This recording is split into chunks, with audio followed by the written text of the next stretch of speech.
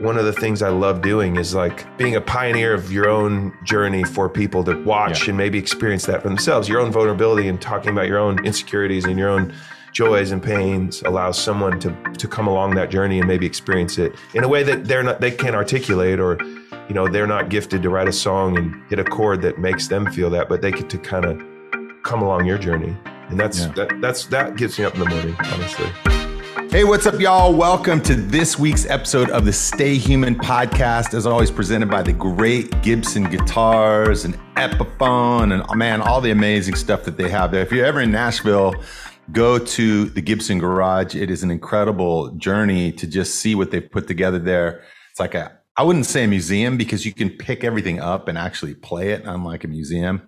Um, I got really busted at the Louvre when I tried to you know, sort of handle the uh, the Mona Lisa one year. They they, they bounced me out of there pretty quick. Uh, but um, the Gibson Garage is awesome in Nashville. Check it out. So I'm super excited because I've got somebody on the show who I've known for a very long time. Over the span of his career, this multi-platinum singer, songwriter, and producer has released five studio LPs. He's claimed the number one spot on iTunes and has topped multiple Billboard charts with over 1.6 million albums sold and over two and a half billion streams worldwide. God, that's such a freaky number to even think of. he shared the road with everyone from John Mayer to NEEDTOBREATHE, as well as headlining countless tours on his own. Please welcome to the Stay Human podcast, the great Mat Kearney. How you doing, Mat? hey man good to see you Man, it's great and to hear your see voice i love it and be seen, man. Um, where are you right now? I'm in Nashville. I'm in my studio in Nashville, Tennessee. Um, it's Nice. cold. It's currently cold. Uh, uh, but yeah, man, here in Nashville. I I'm in um, Bali and it's currently about 85 degrees. Dude, It's, don't rub it it's in. 10 in the morning here, and uh, I just finished a crazy workout. I'm dripping in sweat, and I'm drinking a dragon fruit smoothie. Wait, it's 10 in the morning. It's 10 in the morning here. Where is it? Where you, In it's Nashville, it's 8. eight PM. eight o'clock at night. Yeah, Yeah. yeah. So I'm in the future, and I can tell you the future is is great, man. It's awesome. Hey, um, I, how many years have we known each other now? It's been since 2007, eight, nine. Yeah, it's time? probably, I feel like, Yeah. was it like a radio show or something? Yeah. I mean, I remember opening for you at the Ryman. Is I think it was the first time I ever played at the Ryman, which was like Yeah. really, really special for me. Uh, Yeah. We did an acoustic set. So, and that probably, I bet that was 2009, but we had known each Yeah. other before that. So, yeah, somewhere around then, Yeah. right when I was starting out, honestly, that was like yeah. the very beginning of my journey was back Well, I remember when they told me that you were going to be the support act at the Ryman, and I was like, God, I know that name. And they, can you send me the music? And they sent me the music. I was like, Oh man, I love this dude. And uh, I remember us having met at that time, and so um, man, it's That's been a, a, that's a special place in Nashville. That was a big night for me because I I worked at the me about that. I worked at the Starbucks next door. That was my job before music. Was I was a barista at Starbucks, a small stint as a banquet server at the Opryland Hotel. But Yeah. that, those are my last two jobs. So yeah, we would go to work every day, and the Ryman was right there. It's you know it's this huge. Yeah. People have been there. It's like this beautiful church-looking structure Oh, in Nashville, incredible. just downtown It's a Nashville. sh- a shrine to to music, and Yeah, it's it's just like- an incredible place. the home of country music, you know, all these heroes, Johnny Cash. Anyway, so that was the first time I had gotten to go on stage Yeah. and play it. So it was a big night for me, just because being the kid that had been a barista next door, looking at it. It's, to finally being on the stage. It's it's so you too because it's the you know the typical lineage is I was driving a truck on a cow farm. And here I am at the Ryman. and you're right. like, yeah, I was working at Starbucks next door. I was making cat faces in your coffee. Yeah. And here I am, you know. Um, so I want to do a deep dive on who you are and where you come from. You know, where were you before you landed at that Starbucks? And you know, go go all the way back to where where were you raised? What was your family like? Yeah, I'm I am a sixth generation Oregonian on my mother's side. Wow. So, so I was, I'm born in Eugene, Oregon. Uh, Wow. Go Ducks! So Yeah. my, my family Go was like, Stevens too. Yeah, right. Totally. My my mom's side, they were like literally covered wagon. You know, like the game Oregon Trail. Did you play that as a kid? on Sure, yeah. In keyboard Yeah. class. That was Yeah. like my family. So they settled out west. uh, my dad's from Rochester, but I grew up in Eugene, Oregon, small kind of cool hippie college town. I had a lot of artists in my family. No music, none of that. I was kind of a I was actually a soccer player more than anything growing up. Wow. What did your And- parents do? Uh, my dad was a business lawyer, and after they had followed Pink Floyd through Europe for a while and uh, met in Hawaii, they settled in Eugene. And my dad, he said, I, he went straight and became a lawyer. but uh, but he, he was like a you know just small town like help people set up wills and help businesses Yeah. write contracts. Just you know kind of like yeah. uh, ran a, pra- his own practice there, and my my mom was a uh, marriage and family therapist, so um, counselor, and worked at a church for a while. So she was really like the spiritual kind of taught me like the songs could go deep and like was always like, how are you feeling? What are you Mm. feeling? How do you feel about that? Yeah. How does that make you Yeah. feel? You know, what are you really scared Yeah. of? What you know? So like, which is shows up in my music. You know, half the time that's what I feel like I'm doing is trying to touch on my own journey inside my own heart for other people. You know, like if I can do it, then I'm walking someone else through there. So yeah, so that Yeah. we yeah that was just grew up in Eugene, Oregon, little town. Did, Seemed did like a big brothers town. and sisters? Yeah, middle of three boys. So Okay. Oh, wow. I was the one that caused all the trouble. Uh, I think I was the only one that got arrested. You know, three or four times. Did you get arrested for? You know, I don't know. Uh, graffiti. I was like the punk graffiti kid. We, I, we hung out downtown, and Eugene had this legal like graffiti wall that was actually really. Yeah. It's actually how I got into music. Mm. Um, and so you we'd skip school and go down, and one of my friends was a big artist, so we'd paint all these murals. And then sometimes at night we'd go to the train yards and pay trains. That's uh, you know, very disappointing to hear, man. Um, you know, I was there with you in, in spirit because my very first show outside of San Francisco was when I had this punk rock band called the Beatnigs, and we were Alternative Tentacles Records, the Dead Kennedys record label. Yep. And our very first show outside of San Francisco was in Eugene, and it was in this punk rock. I wouldn't even call it a club because it was actually like a storage space. It was in this like storage space unit, um, and they No had, way. ju- they had they had just opened up like two storage spaces, and they had a you know garage metal door, and you'd load in, and they'd shut the door, and they'd turn up the music really loud, and fifty kids would slam dance in there. Was it like a real Mm-hmm. venue or It was a real venue, like like they allowed shows there, and and I wonder uh, what- you know. what year would this have been? 1988. 1988. Yeah. Wow. I would love to know where that was. There's still a storage unit there. There was a band there called the Radiators, I think, and that was their their spot. Yeah. I, I was like Um, Cherry Cherry Poppin' Daddies era, if you remember them. They were Eugene band. Sure. Oh yeah, I remember Which them. that they were like actually more punk rock when they started. They got more big Mhm. band swing, but like when if you go to their shows early on, it was like he had like no shirt on and like tight black pants and like it was like a punk show, like like a no doubt show. Everyone was like you know like crowd surfing and mosh pits. I used to and- see them at um, the Kennel Club in San Francisco when I was the doorman there. Love and it. Uh, they did a lot of great shows. Um, so when you were a kid growing up, what were the greatest challenges for you? You know, like you're talking about your mom saying, you know, what's what's going on with you and and asking you about your your feelings. What was it like when you're like, you know, 10, 11, 12, 13, just that kind of coming of age period for you? What were the the biggest Wow. Let's go challenges for you? Let's go deep. Coming. I mean, I feel like I don't know about you, but I mean, through therapy, my own journey as a human, as an Mhm. artist, I feel Mhm. like I am like third grade, and I've I've actually studied this a little bit. Are maybe some of the most formative years of your life, like you're you're Yeah. kind of. And I'm, I'm realizing now I was dyslexic actually at the time. Mhm. I'm still still am. Me But- too. yeah. awesome. Yeah, I didn't know that. I mean, and, and I, I thought, you know, they always tell you if you're dyslexic, it means there was like the after school special, and it's like the one dude who can't read and he's like Yeah. hiding in the back of the class, and that's Yeah. what dyslexia was. But um, the more research I've done, it's kind of a spectrum, and Mhm. it can be you don't necessarily process uh, the systems as you're supposed to, or some. I have a, like a pretty weird visual memory. I'm almost like Mm. photographic, almost like I can can remember images from every show. Like hmm it's weird. And, the, and I was talking to a specialist and they're saying sometimes when kids had like a strength in one area, it means they leaned on that, like maybe you have a visual memory and Yeah. you don't you don't learn the actual system of like spelling and reading the way that you're supposed to.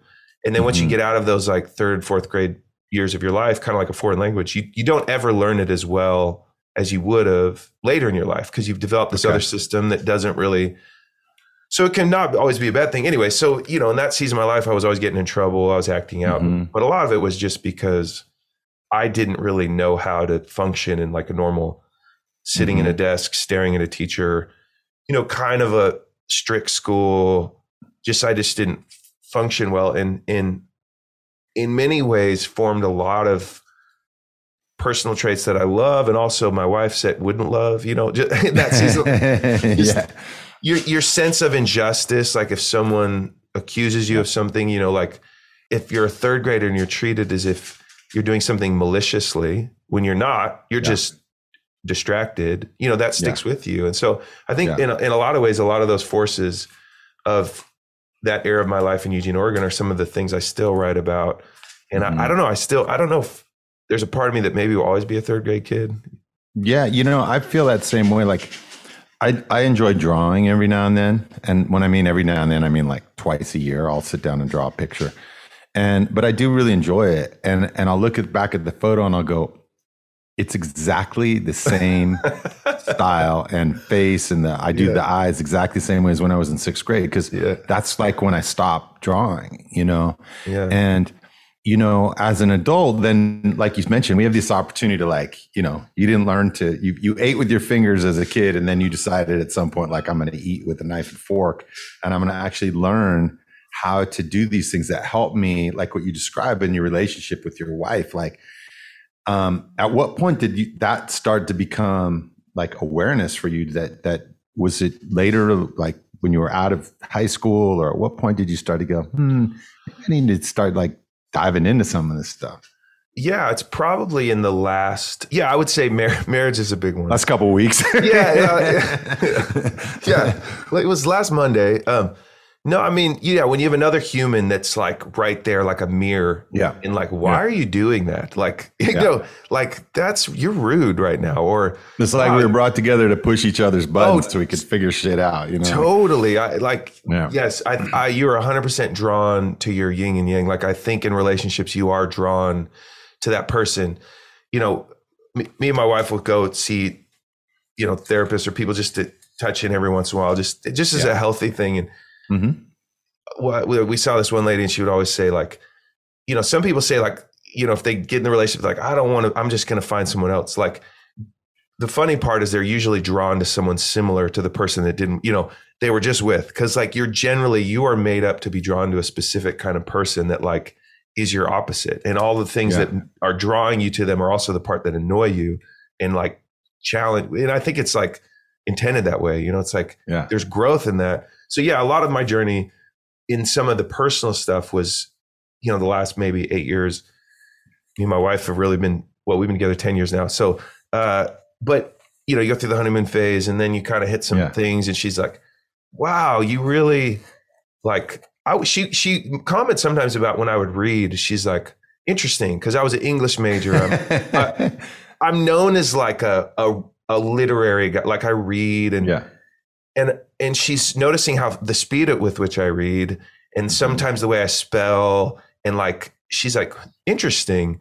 And she w- one day pulled up this sheet of like if you're dyslexic maybe you would have some of these traits. And it was like a list hmm. of fif- 50 and it was Yeah. literally like every single one. I was reading and I started I was laughing as I'm reading this list you know and I'm getting to the end and I'm starting to get like emotional and I'm getting at the Yeah. bottom of the, like it started as a laugh and then I'm like tearing up I'm like I this is me like i'm known you know and and which started a journey of me kind of discovering it and and and uh exploring what that meant for me but some of that like a enlarged sense of justice or some of Yeah. that that like you're driven that was an interesting one that i you know was just one Mhm. of the lists that i was like that's totally me and if if you're a kid who's misunderstood you know or misrepresented and treated as if you're being malicious like oh you're just being Yeah. a punk and you're not Yeah. you're just tr- you're just trying to like just be you. you yeah, just you're just up. you're yeah. just literally trying to hang in there. You know, yeah,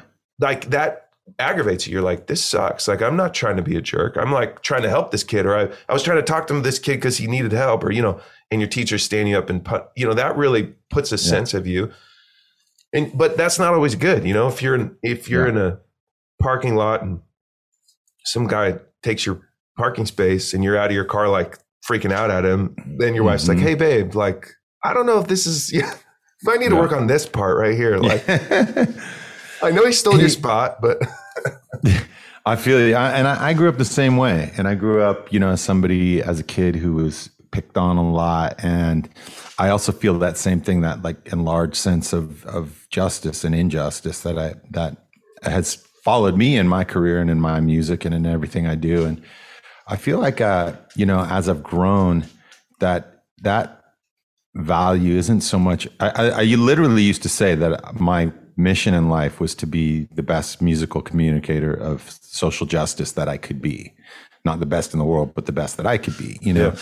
And, but now I think of it more as not just social justice, but the values of how people are able to be their authentic self. Like, how is it that people can be who they are and mm-hmm. still be accepted and embraced by other people's uh, uh, and celebrated by other people for being their unique self? And yeah. that's what's exciting to me about what you do, Mat, and like what you were describing earlier about how you just tell your soul and tell your story of what's going on inside you.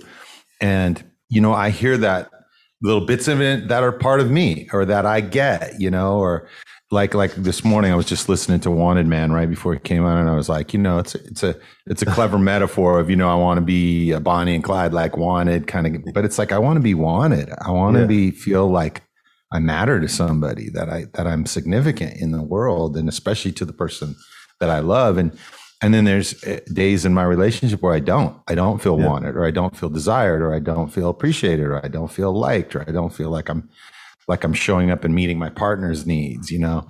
Yeah. And so like when I hear your voice in your music, it's it's it's it's inspiring to hear you bearing it out like that. And how does that come back to you? Like when you write a song like that, you go and you perform it or you meet somebody on the yeah. street who says hey i dig your music. I like this song. It touched me in some way.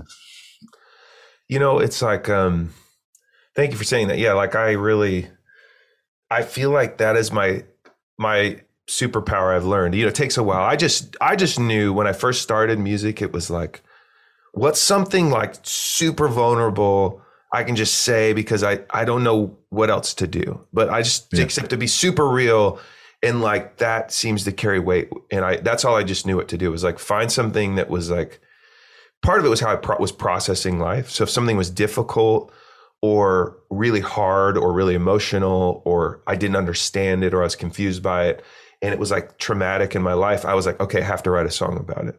Mm. and and that was just kind of how i did life was i would find these things and if something crazy happened i'd go in off the corner i just i'd write a song about it. And you know, in the process of that, as you're writing it, you're like, you're starting with this problem. And then I would really try to find, not on purpose, but I would naturally kind of find this redemptiveness about whatever this mm. was, or like the God part of it that felt like, even in this, like there'd like, be some healing for you, like yeah, you, totally, or like yeah. you're and you're finding like you're seeing the bigger picture, like you're not mm just you know. And I've never been someone who can just write like just a sad song. You generally there's some kind of redemptive something that happens in it because I it's me yeah. processing my own stuff.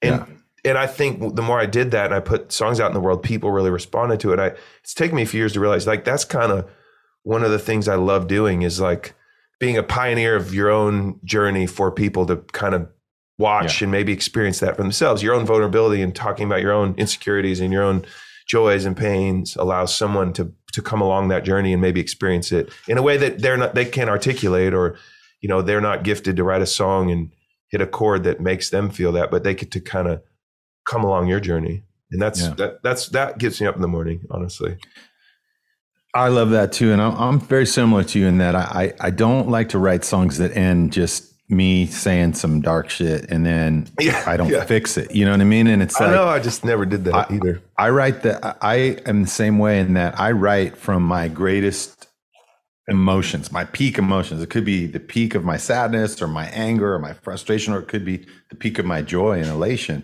But what I always try to do is tell the story of how I got there, you know? And so there's always like this dark side, you know, like Yeah. um, to to getting to to where I'm going, and actually, because people say to me all the time, they're like, "You're always happy. It seems like you're always happy," and I'm like, "Well, you, you listen to my records, you're hearing like this joyful music, and Yeah. but if you go and do a deep dive on it, it's me processing my shit to get to that happy place. Yeah. But I really love melancholy music.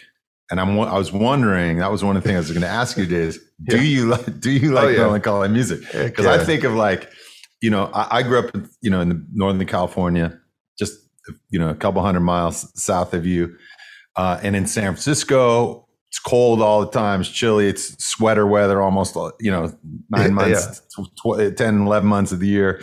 And there's, but there's something that I remember as a kid, you know, going to see concerts in San Francisco, and I would, I would, something felt good about listening to melancholy music. Yeah. And I would listen to like The Cure, or I would listen to, you know, Depeche Mode, or I would listen to Yeah. other bands that that were like Tears for Fears that had like this melancholy and not not just not sadness. I feel like melancholy is like a different feeling than Yeah. like just being sad or something. Yeah. But I've always wondered that about you. Do you is that part of your, you know, musical lineage of just that Yeah. melancholy bomb? I think. I mean, I, I would. Yeah, I guess so. Like, I think that.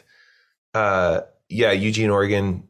Something about like the cliche is like the rainy day, and you're like with your journal, and you're sitting in the coffee shop, and just like having this moment that's like not just sunny and joyful.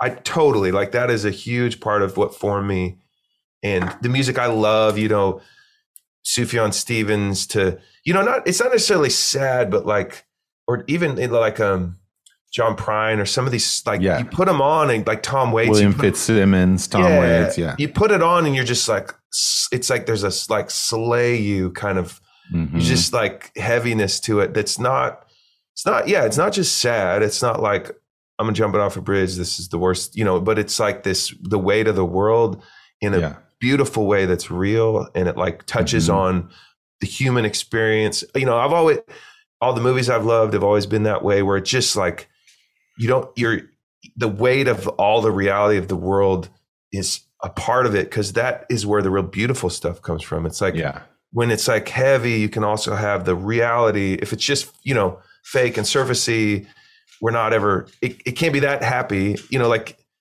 it's like, I'll, I'll never forget I was at um, uh, Good Will Hunting, right? That movie, you know, it's like, Mhm. yeah, whatever. Yeah. and, and it's kind of heavy and you're like trying to figure it out. And there's the line where he like, he goes, Hey, did you, do you like apples? You know, you like apples. And that guy's like, what? He's like the punk guy. And he's like, do you like apples? And he goes, well, I got her number. You like the, you know, he slaps the number on the, how about them apples? And like throws it. And I've never heard an audience laugh harder in a movie ever. Like just Yeah. died laughing, like, cause it caught him so off guard. And it was like in this dramatic scene and no one saw it coming. And it was like the fun. And I took, I was like, man, that is harder than anyone laughs in Ace Yeah. Ventura or like some comedy. or any slapstick thing, yeah. Yes, it was just Yeah. like pure people belly laughing, like crying. As, out of relief, out of like it's like letting go. you yes, know, and, that's like real life. Yeah. I think something Yeah. like that is like what I love in music is this like kind of holding both pillars because you can you, you have a lot of weight both ways. And but don't Yeah. get me wrong, I love just feel good just happy stuff. music. Yeah, I, do mean, too. I'm- I mean, Bob Marley's probably my favorite artist of all time. Like, uh, which I think which, Bob did both. You know, Bob was Oh, like, totally. if you hear like "Sun Is Shining," it's got especially like the original like Lee Scratch Perry uh, production of "Sun Is Shining," where it's just got that melodic on it, and it's just so melancholy. But it's a song about being out in the sunshine. You know, the Yeah. song "The "Sun Is Shining" the weather is sweet, but it, the music couldn't be any more dark or mysterious. You know, Yeah. and and that's where like that spirituality hits and and it's something that i've been like uh, discussing with with friends a lot lately is is what is joy you know like and the I heard a, a preacher in San Francisco describe it one time. He said, "Joy is the intersection between the human and the divine, and that's why sometimes when you feel joy, you cry, and Yeah. sometimes when you feel joy, you laugh. Yeah. You know, it's just those moments when you feel like that human and the divine coming together, and and that's what I love about like what you described when you feel like a great film that has that weight." and it brings you to tears and then it brings you to laughter right after that you know it's like those moments when you're just feeling that sense of soul that sense of like letting go that Yeah, sense man. of ease of heart and and i feel like that's like what you like with bob marley i feel like that's the power it's like Oh yeah. this combination of the, the music and the movement, the bass, like the dynamic energy of the bass that Yeah. flows through your body, and then those powerful soul searching lyrics that are about optimism and about Yeah. joy and about finding light even in the darkest times. How did that come to you? Like, what, do you remember the first time you heard a Marley record? Like, what what age were you? Well, in in Eugene, Oregon, so like you know, Eugene, Oregon's like Wasn't Bob Marley the mayor of Eugene? Oh, for dude, like he was like, years? yeah, yeah, he was like. I mean, in my high school, we had a, a mural of the uprising cover that some student had mm-hmm. painted. So I just thought everyone there was a whole like Bob Marley cult. Basically, there was like the dudes that had the dreadlocks, and they were like basically lived off the grid. You know, like my homie Serge and Michael, they were like really good basketball players. Actually, this was like super hardcore Bob Marley, like just they were like deadheads for Marley. They had every live Yeah. recording, and uh, I was buddy. I go hang out with them, and you know they were like Eugene hip. They're like just like parents are like maybe they don't have electricity, maybe they don't. You know, like they have to go to school because the government tells them to, but like probably wouldn't be there if, if they didn't have to. You know, if, Yeah. their parents wouldn't get in trouble. Uh, and so yeah, that group just really like initially got me into it, and it was just around. It was just such a part of the culture in Eugene. Every kid had Bob Marley records. Like I remember when I moved to Nashville, and you know the whole pop thing. I thought people had like NSYNC records and like Mhm. boy band records in their back in the case logic, and I was like, why? Do, why do you have this? They're like, everyone has this. I'm like, no, Yeah. they don't. No one listens to this music. I thought this is just corny stuff on TV, and they're like. Yeah. No, man, this is so like Diamond Records. I was like, nobody at my high school had. What are you talking about? like everybody, Bob Marley's the biggest artist in the world, right? And they're like, no, I don't have his records. I'm like, oh, Yeah. okay. So yeah, just growing up in Eugene, Oregon, it was ex hippie world. So it was like Dylan and Marley and and James Taylor and a lot of Dead. Beatles and a lot of Dead. Yeah, the Dead were big. There was a whole crew of that that was just all about the Dead. And I didn't really. I missed all that. I was actually, I my my way to rebel was like fully East Coast hip hop music. So in Eugene, hmm. there was like a small group of people that listened to hip hop music just because I don't know. We were it was it was like that Mobb Deep era and Mhm. and Tribe Called Quest and Yeah. De La, De La Soul and I mean I'm sure you've brushed shoulders. I was out on tour with all them. We were on the same label with Mobb Deep at Fourth and Broadway and and in the early '90s. Dude, And, I mean, I had toured your record, so- Stay Law, toured with all the Tribe, all those. Yeah, dude. I mean that's cool. I, I saw Tribe at um, University of Oregon when I was in I think it was in the ninth grade. But um, yes, because I had one of so I was trying to remember this hole in the bucket, right? Hole in the Bucket. That was the very first Spearhead album, Home. Yeah, Which I had the single, the tapes, the single of the Hole- cassette single. Well, I'm assuming I'm assuming I did, but Yeah, yeah, that, for that sure. was that the first or second single off that record? that was the Because first single, but there was like a, uh, you know, 'Cause there was a- then used to put out these little EPK kind of things. It would be like a cassette with four songs on it, and it would be sort of a white label, no cover on it. Yeah, so, but that was because because I remember the music video. Whole yeah, like hole in the bucket. Yeah, was that did that? I, I don't know why I have such vivid memories of that video. Like it was on MTV all the time. That song was like, it never really got played on the radio, but we made a really powerful video for it, and the video just got played all the time. And and uh, yeah, that was that was a it was it was kind of like a light switch moment in my career. You know, just like the power of television, how suddenly like people would recognize me walking down the street. You know, and because this is probably you know, 92, 93. 94, yeah, ninety four, yeah. So th- I, I was wondering this because that song I, I was trying to look it up, and I was like, to me, it like I remember that same thing. Like it arrested me. I don't know if I was watching the MTV. I was like, what is this? Yeah. And I remember the story. I was like, this whole story thing. You know, like yeah. You don't know why you have the hole in your pocket. You're like, or or yeah. the, you don't know why you have the thread, which finds out it's the hole in your pocket, right? The whole thing. Yeah. And I just was like, this is the coolest song. What is this? What's the story? So I was looking it up actually before this. I was and I was trying to see. It must have been a hit on the radio or something and I couldn't find anything. So it was mostly yeah. lived in the MTV on MTV. World. Yeah, just was it like MTV?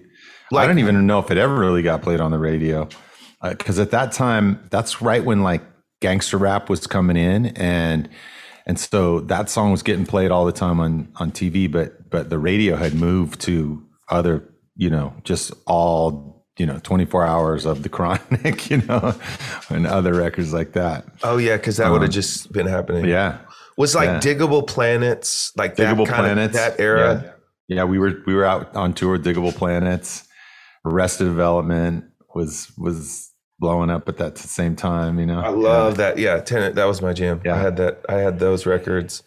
Well, because the Bay Area had a moment that that was the only thing we caught. So so in Eugene, Oregon, you couldn't you didn't listen to. It wasn't really cool to be into like LA rap. Like no one really yeah. liked like that thing. Like yeah maybe like you know some people were in, like Dre and Snoop. Sure, you could listen to that, yeah. but like none of the whatever MG Ball, like none of that. We were. Yeah. It was all either East Coast or Bay Area. You, like Pharcyde was yeah. huge. Yeah, Side, yeah. Del the it, Funky Homosapien. Yes. Um, like uh, hieroglyphics. Was, oh yes, like in uh, hieroglyphics was in a band called Latyrix. I don't know if you ever yeah Latyrix, sure, yeah, with like yeah. Uh, DJ Shadow and that whole thing. That yeah, was like DJ Shadow, yeah, the biggest thing in my yeah high school. We had this like we were their cult following in in Eugene. Like Latyrix, mm. we had every vinyl. Thought they oh, were yeah. the coolest thing, which they never really hit big. But I remember they came up for a show at Wow Hall in Eugene, Oregon and I think I was probably a sophomore in high school, or no, actually, I, I must have been later because I was in college. So this would have been my freshman year of college, and I was going to school in Chico, California, your stomping grounds. Yeah. And Latyrix played a show in, at Wow Hall in Eugene when I was home for break, and we just said every word, and I was like, and the, you know, there was like maybe thinking back now, now that I like am an artist and tour, I I would pay attention to crowd sizes now, and I'd you know, how many people are there? Like you just get good at knowing that number. Yeah. There's probably 50 people there at tops. Yeah. You know, yeah. like not a big show. Like yeah. they were probably playing there, you know, the room was probably a quarter of the way full. They were probably discouraged, knowing if I was them, came all the way up to Eugene. There's like 20 kids singing their song, you know. We were so into it. And they hung out afterwards and they like I bought a vinyl and had them sign it.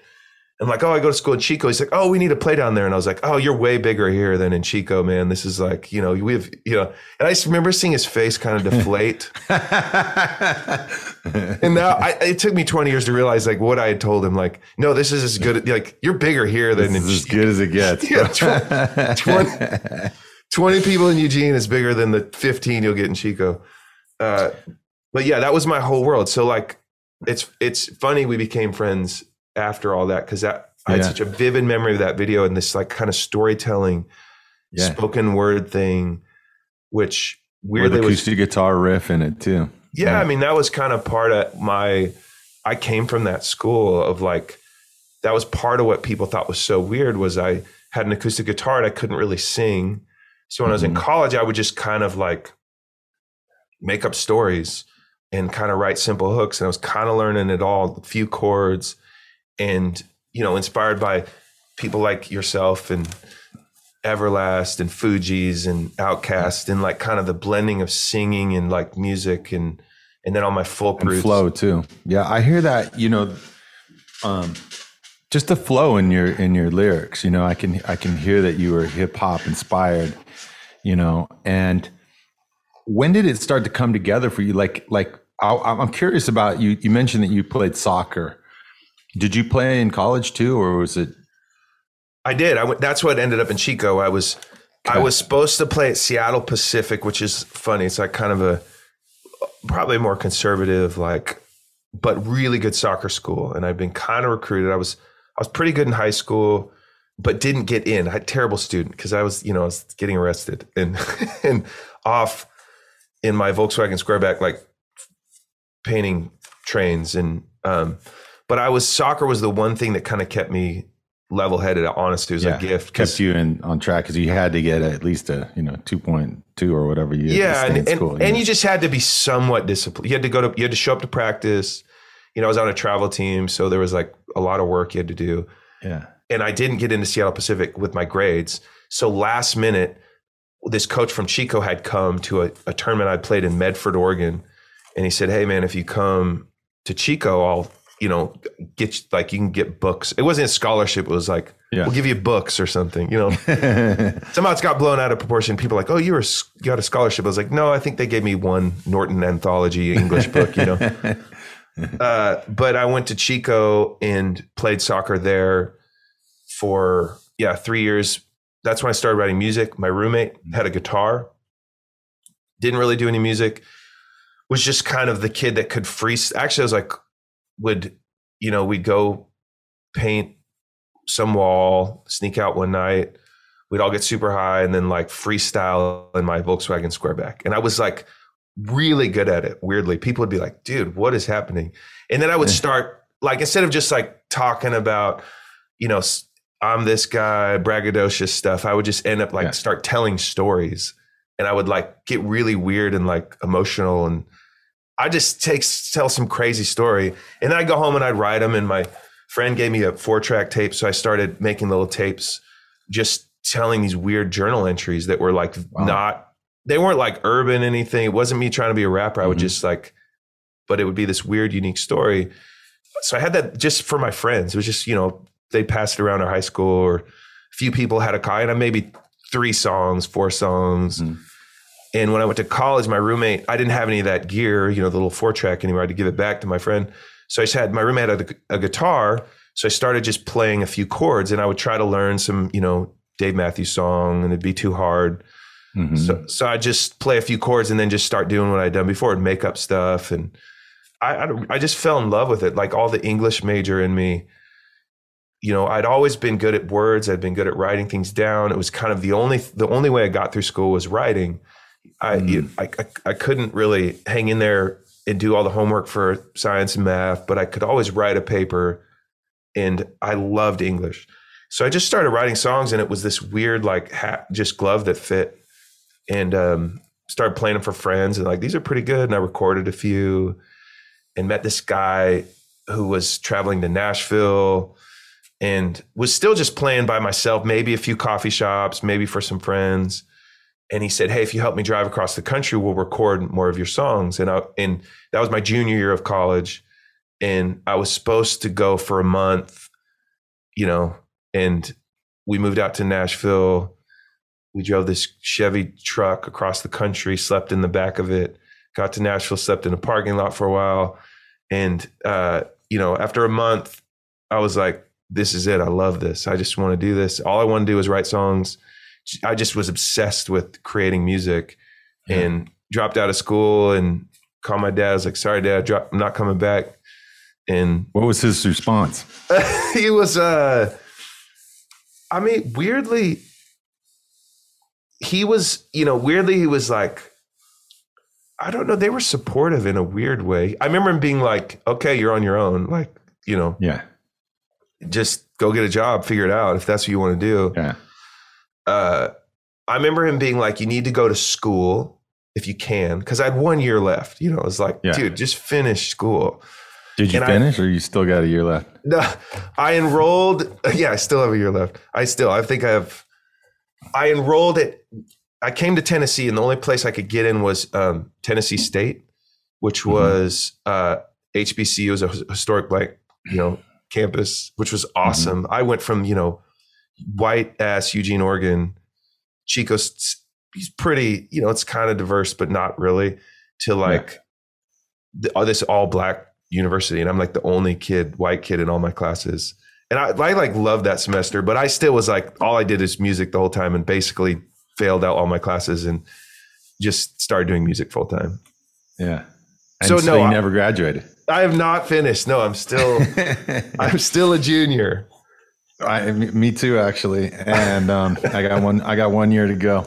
and the only thing that's keeping me from doing it is a math class. I, I have I have like one math requirement, and I'm just like I will never do it. I, I could. Yeah. And a few years ago, um, I was at my old school, University of San Francisco, and they wanted to give me like an honorary degree, and my wife just like jumped in the conversation. Was like, "Oh hell no," because she has like a master's degree and all this stuff. They're like, "You ain't getting no honorary degree from the school." like, you know, like, Take it. I was like, "Come on, honey." I know. Um, Chico was uh, hit hit me up for like a uh like donor or something, you know, what- after Yeah. I'm like, I didn't graduate. I was like, someone was like, we could work on an honorary degree. I was like, that would be how I would totally win. Like, not only Yes. I drop out of school, dad, I went off, became a musician, and they gave me a degree anyways, you know? um, hey, I got a couple final questions for you. The, the the first one is, what's your mission? Like, if you could boil it down, like this is what I want. This is what my mission is through my music. Wow. Um, I think we touched on it, but I think that kind of being a pioneer for people in my own journey, with my own vulnerability, with my own fears, with my own insecurities, um, and kind of coming back to this, you know, setting out like the Oregon Trail, people in their covered wagons headed for this new land.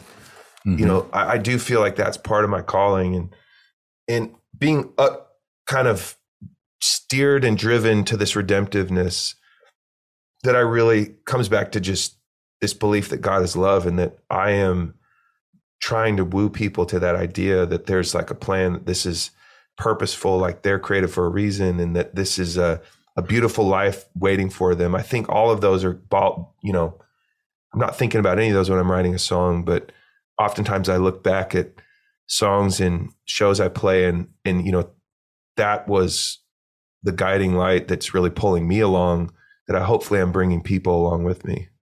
Mm. I hear you.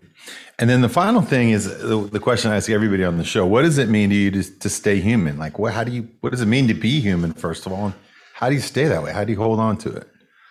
Interesting question. I like that question. I heard I've heard you ask other people. I think you know, for me staying human, I think being human has something to do with humility. I think it has to do with how you define yourself. I think uh, for me staying human ha, you know, there's so many things that want to define you. It's like you could be, oh, I'm, I, I just need this record to be known and be feel Mm. like I'm, I've made it. Or oh man, Mhm. I'm a recording artist now. I'm this famous whatever. People come, and there's all these like these all these things that want to tell you who you are and your identity that are just kind of surface and they fall through. And if and you see people fall into them all the time. And in my in seasons of my own life, I buy into the hype too much, or I start getting up every morning and worrying about how can I keep this going, or like, you know, Mm. how can I like this is who I am. What if music's taken from me? Who am I? I don't know who I am. Mm. And I th- I think for me, you know, that idea of that I'm much more than a musician. I'm much more than, you know, somebody people pay tickets to. I'm like the neighbor and I'm the husband to my wife. I'm the dad to my kids. I'm child of God. I'm like, you know, all these things is really who I am, you know, and, and music, I love it. It's my truest passion. It's the thing that I will do to the day I die, but it isn't, it doesn't define me. It's not Mm. what gets me up in the, it's not uh, all that I am. And I, I think that journey's taken me years to figure out, but the, the, the more I've understood it, the happier I've been and the more I've understood myself and the more I feel human, to be honest with you. Yeah, right on. Mat, it's been awesome to talk with you. Love and it, bro. Hear more about your story because I, you know, I didn't know all of, uh, about where you came from and and your roots, and um, we have a lot in common. And uh, for folks who are curious or want to know more about you, are you on all the social channels? People can find you and all those. I am, Instagram yes. all that stuff. And what do you got going on this year? Are you going to be able to hit the road and yes, get out big, there? And, big tour coming up. Um, really excited. My first, you know, it's like I think I'm, I'm also uh, freaking out because I think I remember how to play all these songs. I'm like, like I'm starting over. I'm gonna have to get a teleprompter. I don't know. I'm, I'm almost there. Uh, but yeah, man, I, I have got a big tour coming. I'm really excited about. I'm really excited about my this record, January Flower, that I put out. Um, and I'm just really excited to go play shows and you know and do it in a safe way. And I, I feel like we're this spring is going to be a really awesome time to be back in some. It's going to be a springtime for music, that's for sure, man. I mean, I cannot wait. It's. Uh, did you tour? Have you toured at all since the pandemic? We did three. There was like that moment um, in last August or so. Yes, I did like four yeah. shows. Where it's like, oh, this feels good. Yeah. We played these like a few outdoor shows, yeah. um, which were awesome. Even though I that was I got a breakthrough case, so I was like, oh no, I was, I was one of the early breakthroughs. I was like, I'm fully vaccinated. This is great. I like my wife's like, now don't be dumb. And of course, I like kind of started to run through the crowd in one moment, and then yeah, you know, got home. I'm like, okay, definitely got sick, but um, which I was chill. You know, being you vaccinated, it's no big deal. But um, yeah. for me at least, it wasn't. There was just a few shows. I did a few Zoom things, but no, man, it's been. We, so you're we, itching, you're ready, you've been oh, training, you're like, yeah. I am very ready. Yeah. Nice. Awesome. Well, uh, everybody get out uh, there and see Mat, see every artist, man. This is like the year to just like say, F it. I'm going to every concert I can go to. Um, everybody's out there just bringing their A game. I mean, every artist who's who's getting ready to go on tour right now is ready to deliver um, their most magical moments to every listener out there. So, Mat, thanks for being one of those exceptional people who really believes in music uh, being a, a, significant part of people's life and making it fun for people. So, go follow Mat, and thank you for being on this week's edition of the Stay Human podcast. Thanks, bro.